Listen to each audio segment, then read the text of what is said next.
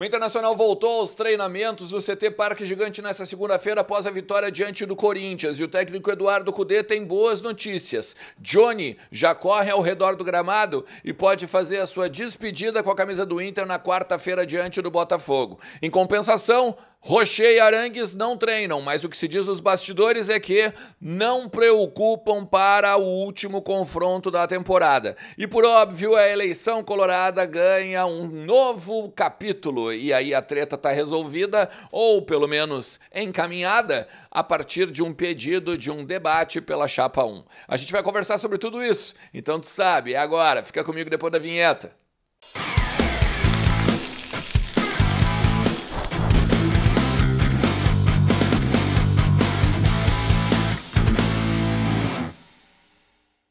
Fala Colorado, fala Colorado, como é que vocês estão? Tudo certo? Tudo beleza?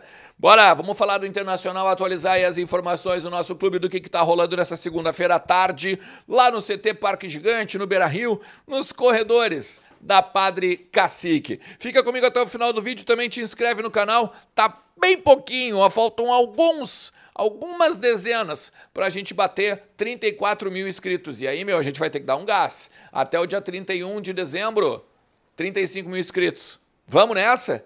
Ah, eu tenho certeza que a gente consegue, principalmente porque esse é o momento bom agora, né? Da gente começar a falar de bastidores, de reforços, de algumas notícias que de repente vão sair aí pelo Colorado, então tu tem que ficar bem atualizado. Te inscreve, ativa a notificação, deixa teu like, compartilha para o maior número de colorados que tu conhece e até mesmo de repente manda dizendo assim, ó, pô, siga esse canal aqui, é bem bacana o trabalho do Ernest, te recomendo. Falar para teus amigos, pro teu grupo de WhatsApp, enfim, bota nas tuas redes como um todo.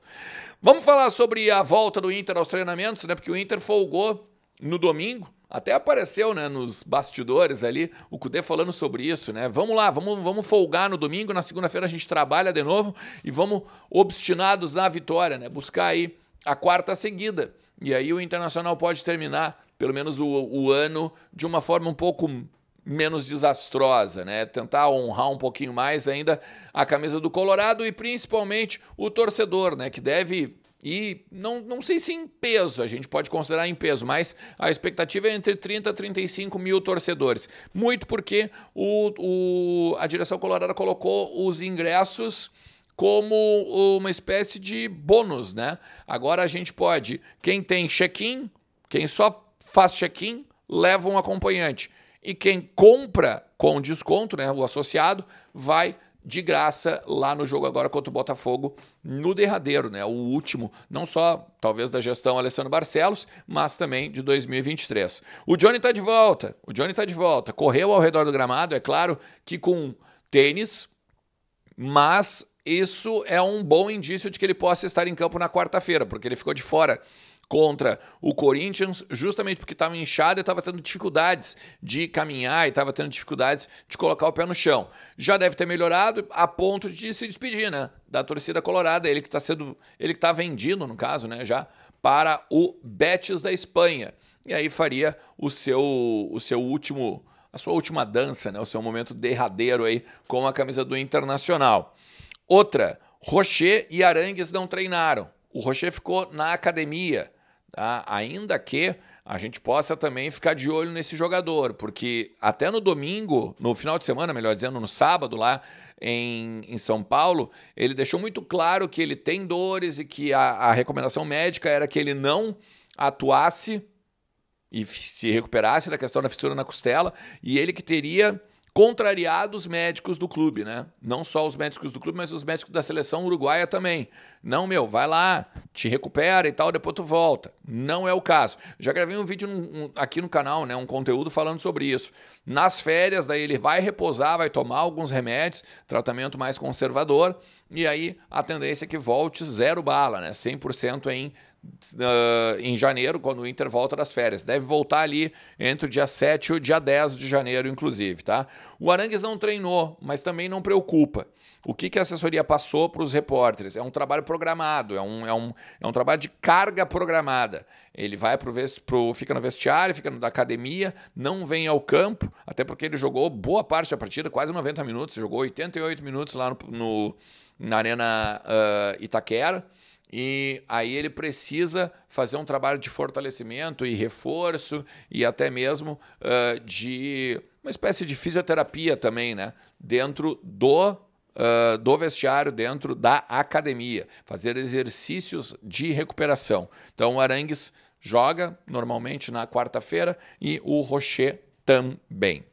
Gente, teve agora polêmica, né? Óbvio que vai ter polêmica agora nessa semana uh, a respeito da eleição, porque o pleito ocorre agora na, no próximo sábado.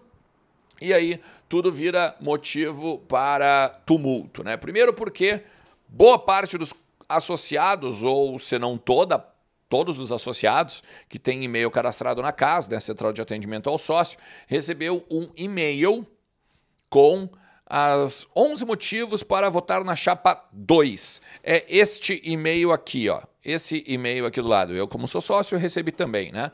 E aí, uh, as redes sociais tomaram uma proporção, tomou uma proporção enorme, né? Esse, esse assunto e tal. Eu não quero receber esse tipo de coisa, isso e aquilo. Bom. Óbvio que todo mundo tem o direito de não querer receber, tá? Mas isso não é nada ilegal dentro da eleição colorada. O artigo 45, inclusive, do regulamento eleitoral do Inter prevê que todas as chapas podem mandar até dois e-mails para cada associado.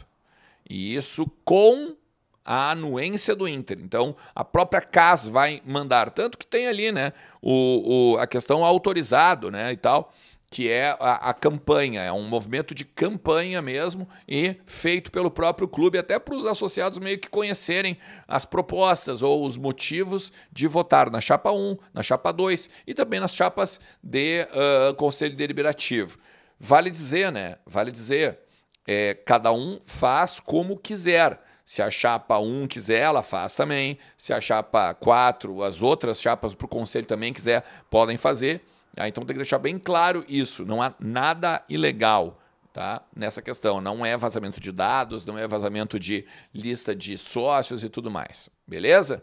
Mas também tem uma outra polêmica, né? Porque assim, a chapa 1 do Alessandro Barcelos propôs agora, junto à comissão eleitoral, fez um protocolo, fez um pedido para que haja um debate numa espécie de campo neutro como eles gostam de falar, como eles estão falando nos bastidores. Por que isso?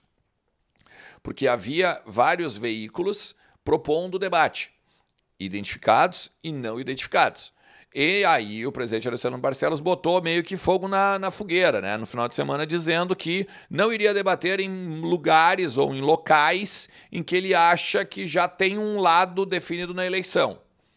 E aí ele pode estar no direito dele, mas enfim, falou isso e óbvio, né?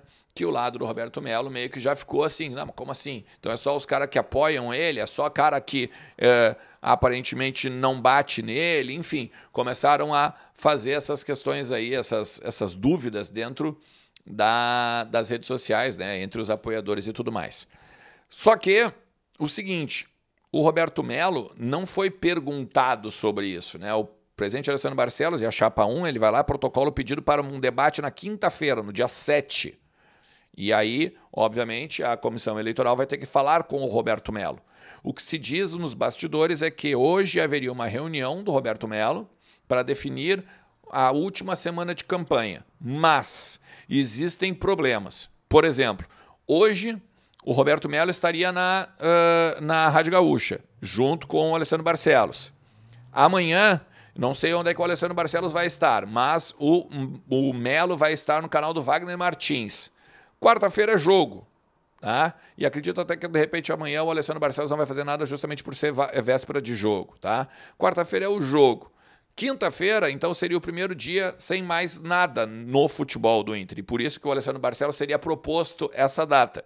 Só que o Roberto Melo já tem uma data feita no canal do Baldaço já tem uma data reservada há muito tempo. Inclusive, seria o local em que o, o Melo debateria com o, o Alessandro Barcelos, ou um dos, né? porque o Voz do Gigante também teria feito, também fez, melhor dizendo, uma, uma proposta de debate para os dois candidatos. Só o Roberto Melo tinha aceito, o Alessandro Barcelos não.